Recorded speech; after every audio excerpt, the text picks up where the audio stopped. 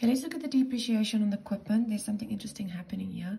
If you do read the adjustment, it does mention in a bracket that you must inspect the cost and accumulated depreciation before you give your answer. So that's kind of a heads up, and I did give you a heads up yesterday as well, that the equipment would go past zero if you had to do it.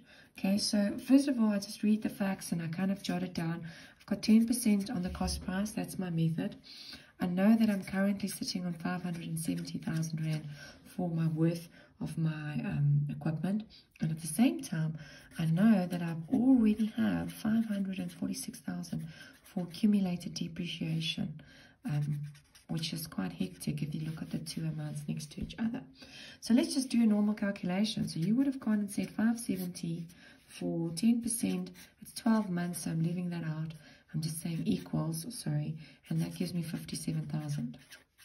Now, if you go and do the math, if you take 57,000 off there after you've taken another 50, it's just going to go mad because 570 minus 546 minus another 57, that's going to give you a minus answer of 33,000. And as you know, for assets, we can't go into the minuses. It always has to be the value of one rand. But just there's another trick on this one. There was 120 items.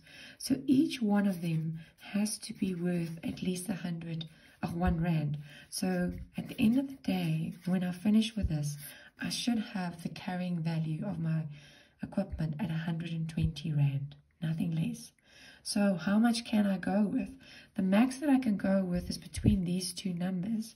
If I take my cost price and I minus 546, I'm currently sitting on a value of, um, I can't remember, 24, 24,000 Rand that it's worth. Now know that I do still have to be left with 120. So all you're going to say is 24,000 minus 120.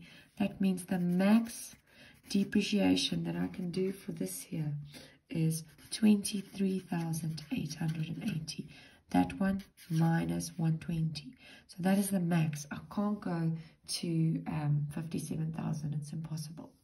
So what am i going to do with these amounts in my financial statements? Let's just see where they're all to go. Okay so i've had a cookie pen here. Here we go. First of all i'm going to do nothing with that. I'm to do nothing with that. This 120 that's going to be at the end how much my equipment is worth. And then this 23880 will be my depreciation.